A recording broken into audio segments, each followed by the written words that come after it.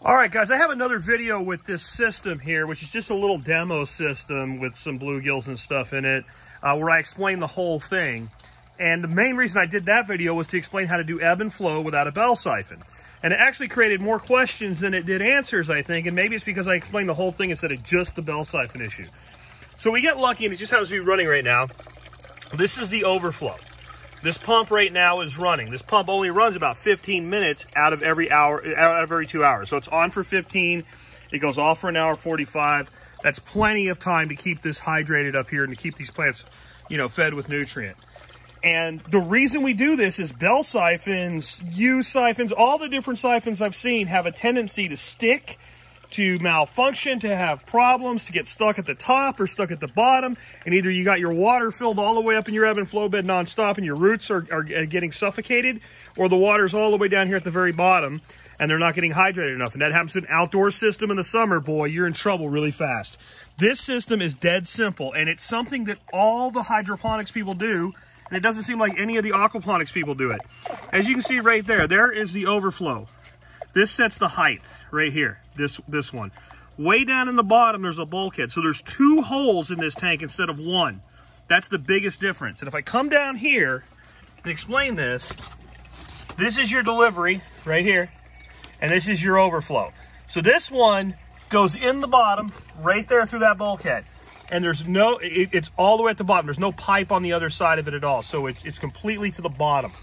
This one here has a pipe sticking out of it about that long that sets the high tide line, I guess you would call it, about right there. The light's not good there, but I'm doing my best. So about, you know, 75% of the way up the side of this, this, this tub.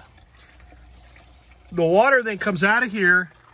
There's the other end of it's overflowing right there. It's on that timer on the wall right there. When that timer shuts off, and we can just manually kill it, I think I did. Yep. So now you see that water goes to a trickle and it stops. Now, don't worry about those bubbles. That's a totally unrelated thing. It's an air, air pump that's in there. Now, right now, you can see that water level is dropping. See, there's the stand-up pipe. Now you can see it coming out of the top of the water. You see all the way down there. Watch you're going to get a great drain. Perfect drain. And we can run this where the pump is not heavily restricted, where you're trying to throttle down your flow and you're putting back pressure on your pump and reducing its life cycle. We're always going to vent extra pressure. I'll talk about that in a second. But you can see that water's just running right back out. It's coming out of the, instead of going out like a bell siphon and having a siphon over that, where it, it's going to create a suction, it's just going right back out the hole that it was delivered through. Now, your pumps, and your pump is down here at the bottom of this pipe, they'll always come with a backflow preventer. And they come with a backflow preventer because if they shut off, water will backflow through them. In a lot of situations, you won't want that. And this is exactly what you want. So you don't put it in. So you go straight without a backflow preventer, and the, the flow will, will basically flow back out. The thing is, underneath there, sometimes it's above water, sometimes below water. If you see right there, I have a, a, a straight valve that's coming off of a T Remember I said about pressure?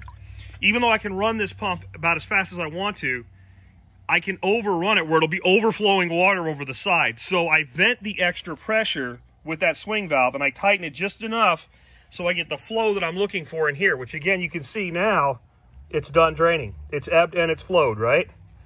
It's filled and it's drained. And it can't fail.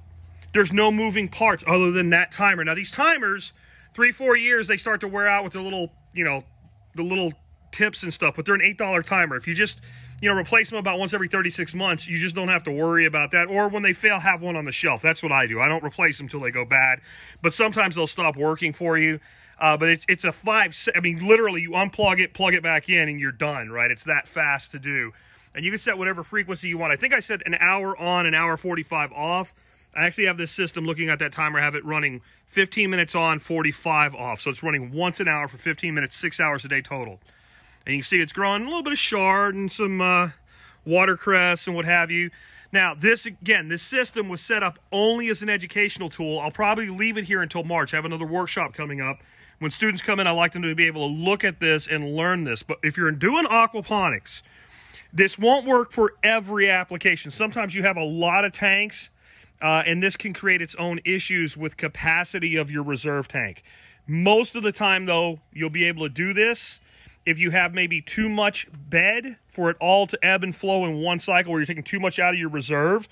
What you can do then is simply set up maybe two or three small pumps running these because they don't have to be big pumps and stagger the timers. So pump one goes off and then it's like 15 minutes of rest and pump two goes off.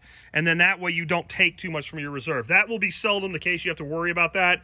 But I have but one system I put in where I did have to worry about that. Other than that, guys, this is as simple as it gets. I think people struggle with it because it's so simple. Again, water comes in right from that one. It overflows. That sets the upper limit of the water.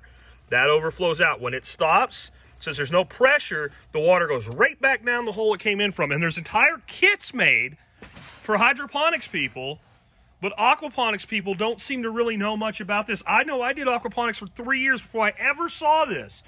And I've had to fight bell siphons. I've made dozens of different variations, and I've definitely gotten better at making uh, bell siphons that are less likely to fail. But I've never found anything at all in all the years I've been doing this, anything as simple as that. Yeah, you got to use an extra bulkhead. Yeah, you have a second pump. But boy, I'll tell you what, the peace of mind with not having to worry about this at all is pretty cool. Let's see. There's one of our little bluegills in there. Give you a little tour of the tank here at the end. Hopefully, hopefully this makes sense to you guys. If you have any questions, please post them. I'll try to answer it but I could not come up with a simpler foolproof system if I tried. In fact, I quit trying because this one works so good.